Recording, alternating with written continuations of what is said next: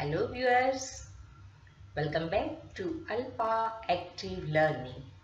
Hope you all are safe and going good. So, do like, share and comment on my video. So today standard 8 science lesson pollution. Look at the picture. This picture itself speaks a lot. Yes, today our planet Earth is changing and one of the main reason for this change is pollution. So the earth is our home, the only place in the universe where we know for certain that life exists. And this earth is a place, a home for all the animals and the plants including human beings.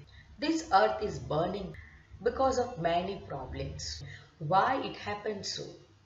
Because there are various problems of environment.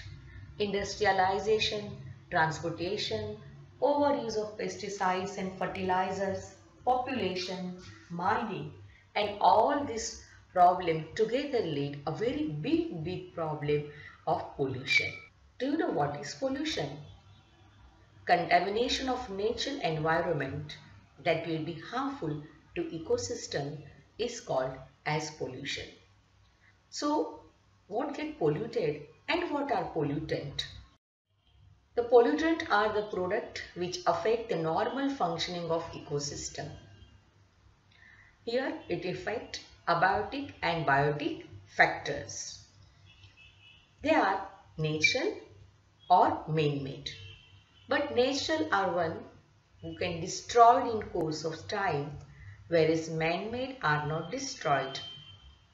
Again children, there are certain substances which are very useful but when it exceeds its limit then it become pollutant. For example, carbon dioxide in air is very useful for photosynthesis.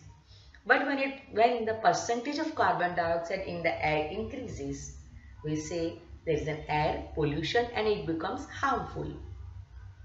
Now because of this, environment become poisonous and unhealthy. So naturally, such unhealthy and poisonous environment will affect everything on the planet Earth. So say no to this thing. Understand what are the types of pollution. They are air pollution, water pollution, soil pollution, noise pollution, radioactive pollution and thermal pollution. Air pollution. Now because of the modernization and industrialization, it has led to increase the air pollution. Almost all the urban areas throughout the world shows a high level of air pollution. There are many reasons of this. So here the contamination of air by harmful substances like poisonous gases, smoke, particulate matter, microbes, etc. is called as air pollution. Now, what are the main reasons for air pollution? Again, the natural reason is volcanic eruption. When a volcano erupts, the solid, gaseous and the liquid material emerges out through eruption. It has hydrogen sulfide, sulfur dioxide, carbon dioxide, ammonium chloride, hydrogen vapor and dust. They all get mixed into air. The another reason is cyclones and dust storms. You all know whenever there is a low belt pressure is created in that zone, especially in the coastal area in country like India, the cyclone brings a huge devastation. You can see the destructions and even the plants are uprooted. So because of this, dust, soil, garbage, pollens, microbes all are mixed with air. The one more reason is forest fires. When sudden fire breaks out in the forest, not only it, the burning of the plants takes place, along with it, even animals also get burnt and this fire releases carbon dioxide, sulfur dioxide, hydrogen sulfide, smoke in air. You can see now very few period of time the huge destruction takes place, we all know how difficult it is to grow one plant. The next is microbes in air. The spores of bacteria, fungi, viruses, they all mixed with air. Now these microbes are either useful or they are pathogens. Resulting, they are polluting the air. Another reason is earthquake.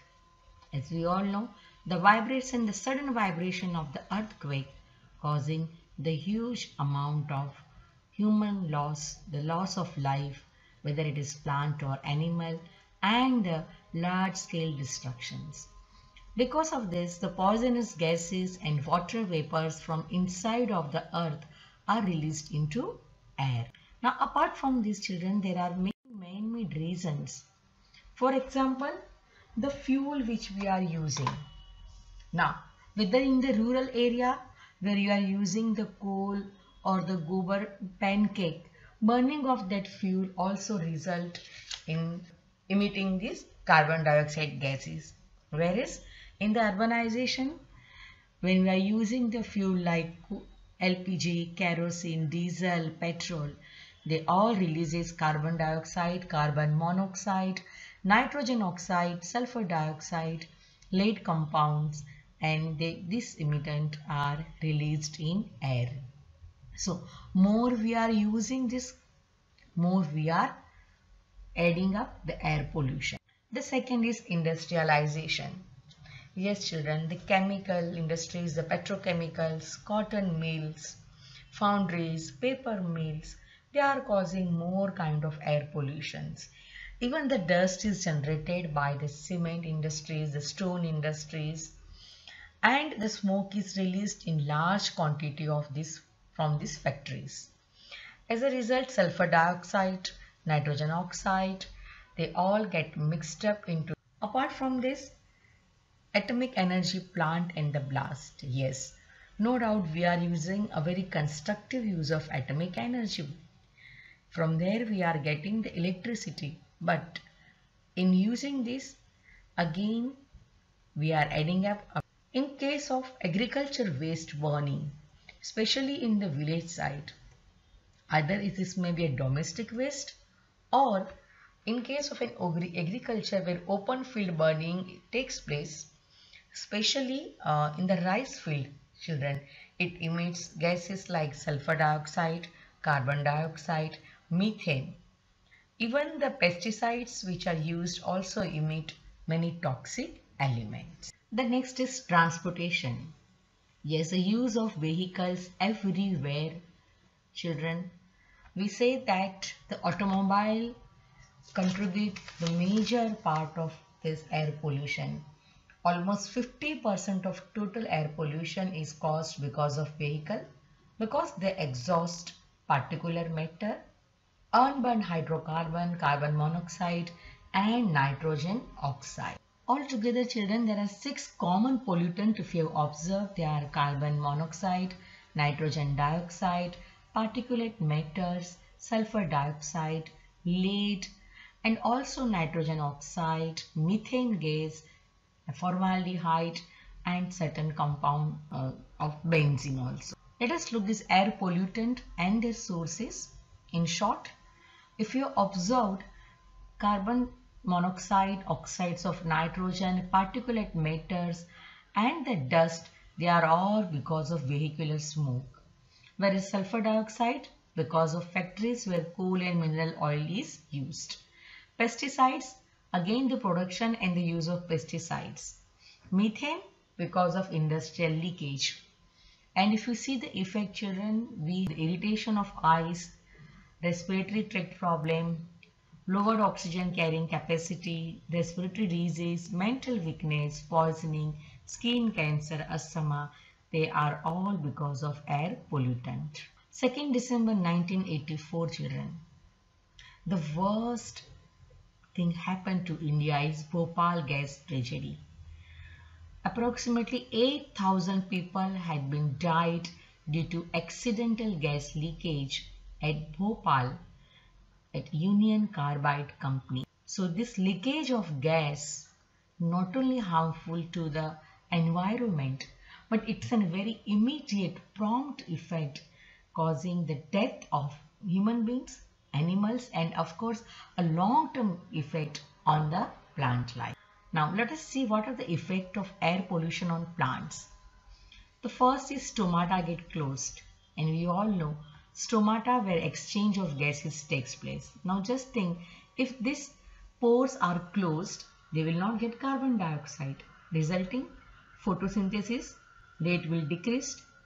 If photosynthesis is not there initially their growth is not there the leaves either fall off or they become yellow in color. Now see the middle picture. Where there is 0% pollution means there's a pure environment. You can see the growth of the plant. As by from 20% to it is increased up to 45% we can see the defoliation in oak. And don't think that this air pollution is only in India. It is a global problem children. The effect of uh, air pollution on the health issues. So all these are the diseases which I have discussed. Uh, the reason for them is air pollution now, apart from this, this oil pollutant with sulfur, it causes color change in paints, oil painting, nylon, cotton fabrics, leather articles and paper. Now, these are the non-living things and you might have experienced this कि आपके घर में भी colour अपने आप fade हो जाता है even if you keep plastic outside even the color changes so these all this may be because of air pollutant apart from this irritation of eyes headache breathing problem. Now children, look here. This is the first picture is of lung where is a non-smoker and a rural resident where clean air is there. And in the second picture, urban resident yani shahar ki baat hai and see the because of polluted how the lung is affected children. So good air quality, the healthy lungs have wide open pathways your breathing is proper. You can live healthy life and you can do many. Now apart from this when animals inhale the polluted gases they too suffocate and die especially the birds which are flying up in the air. Now these are the nematodes who are breathing through the skin. So this air get directly enter into their bodies. And of course the marine and the aquatic animals which we say cannot breathe it properly because they are taking the dissolved oxygen. Because of the air pollution, the percentage of the oxygen reduced. So all the toxic chemicals that present in the air can force even wildlife species to move to new place and change their habit. Yes, this also happened that because of these toxic chemicals, they are not comfortable and when they change their habitat, again it is very difficult for them to adjust, resulting in causing the death. Together there is a great effect on the environment that is acid rain, greenhouse effect and ozone layer depletion. And these are the one which we need to worry a lot children. So what is acid rain? It is rainwater containing harmful amount of nitric acid and sulfuric acids. Now how it is possible? When fossil fuels are burned, nitrogen oxide and sulfur oxides or dioxides are released. Now these oxides mix with the rainwater or the water vapor and they form acid like sulfuric acid, nitric acid, nitrous acid. These acids they mixed with raindrops or snowflakes or a mist and come down as rain and such rain is called acid rain so here children, the constituent of the water, the composition of the, our rain is also changes. So first thing, acidity of the soil harms plant and entire forest life. The total ecosystems are adversely affected. Acid rain in the water bodies destroy the fish life in lake and stream. Also, it corrodes the buildings, the statues, bridges, sculptures. You can see this Taj Mahal because of acid rain or because of the air pollution. Today the marble effect has changed. This is the corrosion of the sculpture and because of this even the natural minerals also get corroded. Again here you can see because of this acid rain it damages the soil biology and chemistry. Microbes are not able to tolerate the low pH and because of they die. Now this because of all these things somewhere the entire biotic system is affected. So we can say that the soil become very hard, it is less nutrient, it become acidic and as a result the yield of the plant or yield of the crop is less. The second is ozone layer depletion. Depletion means kahuna. See the earth is rotating here and you can see there is a layer of the ozone get depleted. Children, we receive sunlight from the sun and this sunlight has ultraviolet rays which are harmful to us. But we have ozone layer in the stratosphere having the width of 10 to 50 kilometers. Like an umbrella how umbrella protect us? They protect us from uv rays. So because of these ozone layers the uv rays are absorbed and plant and animal life get protected. Now what happened? Ozone is made up of three atoms of oxygen. When chlorofluorocarbon been released, the chlorine destroyed this ozone by reacting with oxygen. As a result, the layer of ozone get reducing. A hole has been observed in the stratosphere near Antarctica and because of this, the UV rays directly they are coming to the earth causing the skin cancer, cataract in the human being and also affect the other animal. So which are the ozone depleting substances? They are the chlorofluorocarbon, hydrochlorofluorocarbon, halogens. Now from where we get this? By using the refrigerator, cleaning agent, air conditions, car emissions and aerosols, spray, all these things together constitute the CFCs in the air and more we are using this more we are harming to the atmosphere. Now coming to the next is greenhouse effect and global warming. Now let's understand what is greenhouse effect. As we know our earth receives energy from the sun. So the earth absorbs some of these rays and re-radiate again in the form of infrared radiation. That means the energy is released back to the atmosphere through infrared radiation. Now what happens? When these IR are releasing going back, there is a layer of greenhouse gases. Now these greenhouse gases, these gases are carbon dioxide, methane, absorb these IR rays and send it towards the earth surface again. As a result, the entire globe will remain warm. That means these gases which contribute to the greenhouse effect are called as greenhouse gases. They are good. But children, now on the earth, we have the right amount of the greenhouse to keep us warm. Not too cold or not too cold. But when the proportion of this carbon dioxide has been increased due to industrialization, the effect of this carbon dioxide on the earth temperature is also increasing. Now look at here. This is a greenhouse gases layer is there. Now on emission of all these things will increases more amount of carbon dioxide resulting in rising in the temperature. And that's why children neither we feel winter severe and in the summer also we see the highest the temperature is increasing day by day. Now you feel what will happen if the entire globe will become more uh, warmer? The effect is the global warming. Wherever you go, you find the heat.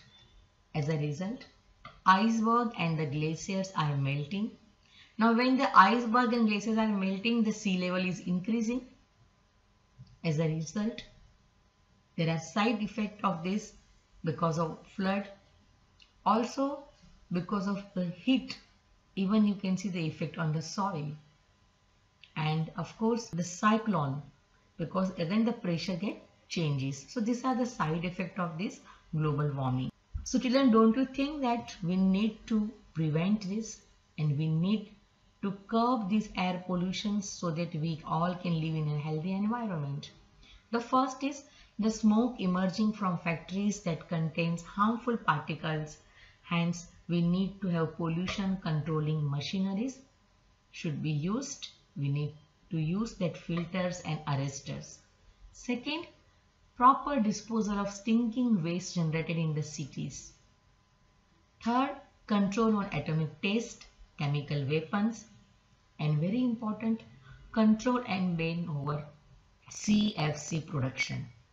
So if you want to know the air quality of particular area, we should know air quality index. What is air quality index? It, it is based on the measurement of particulate matter, ozone, nitrogen dioxide, sulfur dioxide and carbon monoxide emissions. Look at the air quality index children. The air quality index is between 0 to 50, it is good air. Between 51 to 100, satisfactory. From 101 to 200, moderate. But as it crosses above 200, gradually this air quality is very poor and it is not advisable for the human being to stay over there. So we need to check up this air quality index. So children, this is our beautiful planet Earth. We need to take care of our home, the Earth. And for that, we need to stop pollution. Stay tuned for part 2 where we are going to discuss about water pollution and soil pollution and also we are, we are going to see the measures to curb these pollutions. Thank you so much.